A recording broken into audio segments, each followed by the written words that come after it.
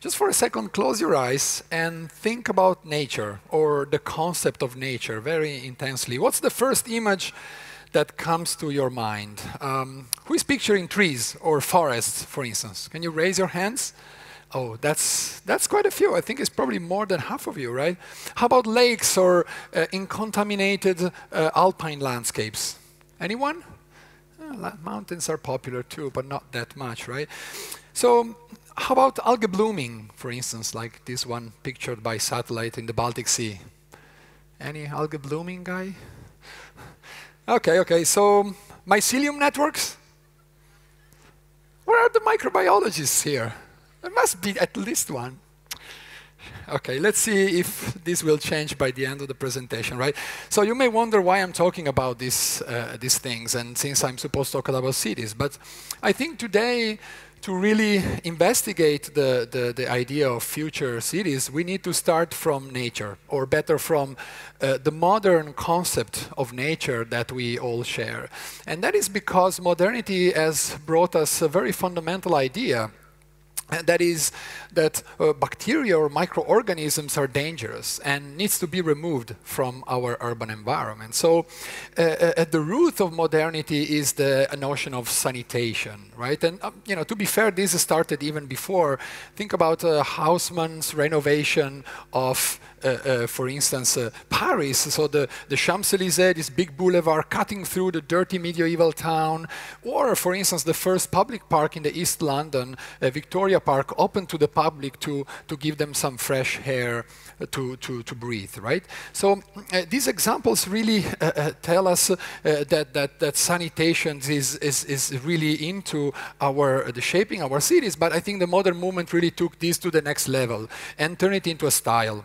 So the, this kind of clean, nice, modern-looking surfaces of, of modern architecture came to symbolize the uh, human's rational ability to frame nature, and especially the, the most threatening aspects of it. And, and at the scale of the city, uh, this rational uh, attitude was brought into uh, removing or moving uh, functions of productions like energy productions or uh, uh, the, the, treatment of waste outside of the city centers, technically separating them from our living quarters or leisure areas, so, so to prevent contamination, of course. But at the same time, the effects was to remove them from our sight. And so I think at a more fundamental fundamental level also from our consciousness. So this is the origin of the modern city, what I call the metabolically linear city. That means resources come in on one side, waste goes out of the other side. We don't know, don't care too much about where they're coming from and when they are going. It's basically up to the biosphere to, to uh, you know, do the rest of the work. And, and I think we're all more or less now aware that as we are approaching uh, 4 billion, actually we are beyond 4 billion uh, people living in dense urban environments uh, uh, globally, the strain that this is putting on the biosphere is enormous. And, and some of its uh, ecosystems are being pushed outside of equilibrium, let's say, in, in, the, in the kind of tipping point. But Yet we fail to act. Uh, this is the news, everyday news. You see, uh, you know, U.S. pulling out of the Paris Treaty. The mayor of London, you know, supposedly a progressive mayor, still uh, struggling to implement far-reaching policies. And why is that? I, I, often ask myself, why is that? And and of course there are multiple reasons, political, economical, etc. But I think one very important and often overlooked reason is really nature or our modern concept of nature. And I think that, uh, you know, we came to believe that uh, the, the, the, rationally organized habitat that we uh, consider our, our uh, living uh, environment uh, uh, really applies a stand to, to the whole biosphere. In, in other words, we have developed a, a machine-like model of nature, I believe, which is you know, kind of grounded in the ideas of, uh, of growth, of prosperity, of equilibrium, right? And so we think about regreening cities or renaturalizing forests as if such easy fixes can be at all possible. Like, you know, at some point we, we would be able to anyway plant a few trees and sort of rebalance the biosphere before it completely falls apart, right? But the problem is uh, the biosphere doesn't work like that. Nature is a, is a non-linear, complex, dynamic system That means that there are millions or trillions of little feedback loops interacting one with the other. And of course, there is growth, uh, there is life on one side, but there is also dissolution, destruction, digestion, and death on the other side. And, and these components are fundamental to the circularity of uh, natural ecosystems, right? So of course they, these processes tend to happen in the dark. Uh, you know, they smell. They generate in us this kind of atavistic fear of contagion. Uh, you know, in that sense, we we much prefer removing them from from our consciousness. They they have become uh, this a kind of dark side of ecology, uh, some people uh, call them, right? But uh, at the same time, scientists are discovering every day the exceptional properties of such microorganisms and things that happen at these microscales uh, really is what makes possible to turn what we understand as waste or pollution and, and, and sort of back into useful raw material nutrients for the next, next cycle of growth to happen. So I believe uh, this kind of hidden world is uh, the key, uh, the, the missing link to our future metabolically circular city. So we took this vision together with my team in Tallinn, uh, which is the capital of Estonia, for a project called Anthropocene Island. Um, the project site is a very peculiar peninsula at the, at the outskirts of the city. It used to be a Soviet military base, which was abandoned after Estonia's independence. And as often happens in this case, it was sort of recolonized by nature, and birds, especially migrating birds, found it a, a sweet spot uh, for, for nesting and resting. And uh, more recently, it was also the site of the main wastewater treatment uh, plant of Tallinn, right in the middle of the peninsula. Ever since that happened, a kind of struggle or battle uh, came up between the management of the plant and local ecologists or bird watchers claiming the plant is contaminating uh, their natural reserves. I think this is a kind of classic case of uh, you know, kind of green versus uh, dark uh, ecology, right? But what is uh, particularly interesting, and we just uh, almost by accident found out when visiting the site, is that birds don't seem to look at it in that way. You see in this piece of footage uh, that birds are quite happy to, to hang around in the kind of warm and nutritious waters of the wastewater treatment plant and even seems to play with the kind of uh, heavy machineries uh, there, right? So um, in that sense, we decided to take, uh, let's say, the, the, the, bird perspective and, and, and, uh, and take it uh, as, a, as a starting point for a speculative project about the future of Tallinn. And uh, this non-anthropocentric approach, as I should call it, became the topic of this year's Tallinn Architecture Biennale. You see the main exhibition here in the back. And um, we, we really really wanted to make it into a kind of lab, uh, uh, a kind of collective project on uh, the future of city. And, and we invited 11 uh, groups between uh, scientists, artists, architects working together on this uh, proposal. And the idea, the basic idea of this proposal was to, to imagine a new city model that would grow from the waste of contemporary Tallinn right? So almost like the other way around as it normally happens, and integrate microorganisms in the built environment, within the built environment, so that biodigestion could become the founding principle of the new city. Um, the, the proposal started by uh, uh, imagining or reimagining the peninsula as a kind of distributed habitat where uh, little uh, biodigesting gardens, as we may call them, would receive the wastewater from Tallinn and begin to process it. Uh, the process would obviously generate a, a surplus of heat and nutrients, which would begin to create peculiar niches, peculiar microclimates, right? And, and that in turn, in the kind of feedback feedback loop model uh, uh, that, that is typical of biosphere will begin to generate uh, the possibility for an expanded ecosystem, new species settling in, increasing the photosynthesis, increasing the level of biomass that can be produced. And eventually, of course, from that, new resources uh, uh, could be fed back to the city of Tallinn itself. So what we would create is a new city that is in a way symbiotic of the existing city, right?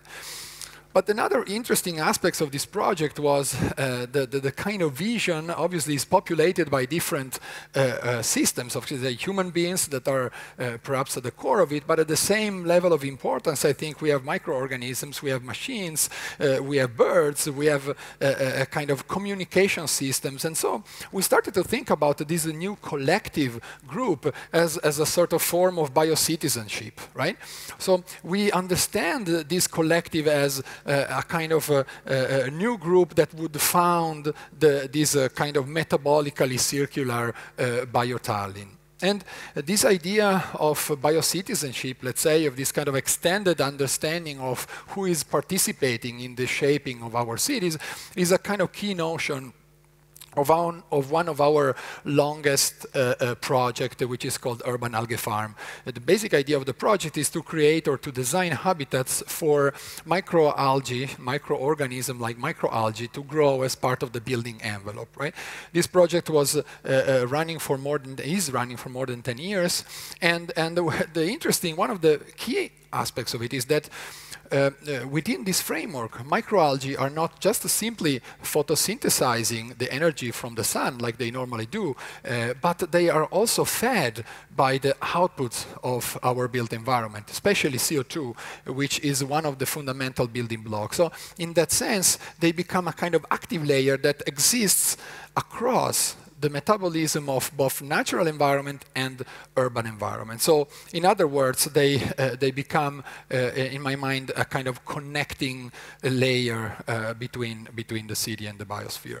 And of course, there are multiple interactions that can be activated by the intelligence of these colonies. And this is an example of a public space we created in Milano, uh, where, where all of a sudden new uh, uh, interferences and new collaborations between this micro world and the world of architecture can, uh, can emerge. And uh, as I mentioned before, uh, microorganisms actually grow faster within our artificial habitats. And this is because they are nurtured by the emissions of our building. The heat, the excess heat, the CO2 we constantly produce, it's actually for them nutrients. It, it pushes, it promotes their growth. And in turn, the biomass uh, that they generate becomes source of energy, source of nutrients for, for us and, and for our city. So it's, again, it's a new kind of symbiotic relationship that we can begin to imagine, and that, uh, you know, it's, it's a completely uh, turning upside down the paradigm of modernity. So we start seeing building as something that is not necessarily finished when we end the construction and we leave the building site, but the building itself becomes a, a, a system that evolves uh, continuously. And our job as designers is to imagine uh, uh, really new urban typologies uh, that can accommodate this, uh, this uh, new expanded notion of citizenship. And uh, this year has been very exciting for us because that's when we completed our biotech hut project in Astana. It's our first permanent biotechnological building. And it's, of course, um, the dimension, the size of it is more or less 180 square meters in plan. It can host large families with friends and so on. And especially it, it has a system to, to host 1,600 liters of cyanobacteria, of living cultures of cyanobacteria. And the culture grows within uh, uh, these glass tubes that you see there, like integrated within the skin of the building. And in optimal condition, the building produces approximately one kilogram of dry algae uh, per day. And this may not sound much to you, but actually it's equivalent to one liter of biofuel, which releases approximately 10 kilowatt hour of energy. That's what the UK average home needs to power its system. So in other words, we have created a system, a model of self-sufficiency, of circularity uh, in terms of energy. But that's, of course, wasn't enough for us. Uh, you know, one of the crucial uh, topic I mentioned to you is really to create a deeper relationship, is not just just absorbing our waste, but it's feeding us back, right? And we are going to become 5 billion urban dwellers in, in 10, 15 years. How do we feed an healthy diet to, to, to all of this uh, uh, population? And uh, chlorella, for instance, is one of the most popular microalgae uh, around, It contains 60% of vegetable proteins. That means the biotech hut could actually produce 600 grams of protein. That feeds 12 adults And if we compare it to our meat-based protein diet, it requires eight cows to do that. So it is a substantial amount if you think about that. We can completely substitute uh, uh, this, this stream uh, if we wanted to. And of course, uh, eight cows emit uh, uh, greenhouse gases, methane. The farming industry is the bigger emitter of greenhouse gases, more than any city combined together. That's not many people know about it, right? So we not only reduce that, but as I said before, microalgae absorb CO2 to grow. So the biotech hut uh, absorbs two kilograms per day, which is equivalent of 32 trees. So again, if we compare it with, with uh, something we know, it's like having a kind of family-run microforest integrated within our building scheme. So I, I, I, told you all these numbers just to give you a kind of spatial and material understanding of really the potential, the efficiency of uh, uh, integrating microcultures in the, in the built environment, in the urban fabric. And this is obviously a crucial transition because, as I said before, that means turning the urban fabric into its, its ability to synthesize resources. So it goes from being just a container of functions, right, how it was in, in the sort of modern paradigm of the machine for living, and it becomes itself a dynamic process of production a living machine. And in the world, in the realm of living machines, things are very different. We all know it. Living machines can synthesize information, matter, energy in a way that is completely different from the way we actually generate and distribute energy today. So this is the key from moving from this linear metabolism I showed you before to uh, a kind of multiple interlocking circular uh, metabolisms. And uh, this also has a very strong impact on the shape shape of our cities, right? It's about uh, kind of moving from centralized grids, which are the one we, we are used to today, going from main power station, dams, wind farms, to all of our houses. So this image of the tree, again, the centralized grid, to distributed networks. Uh, distributed networks mean each one of our houses, parks, public space, arenas is going to become both a producer and a consumer of energy. And there will be continuous exchanges between one another.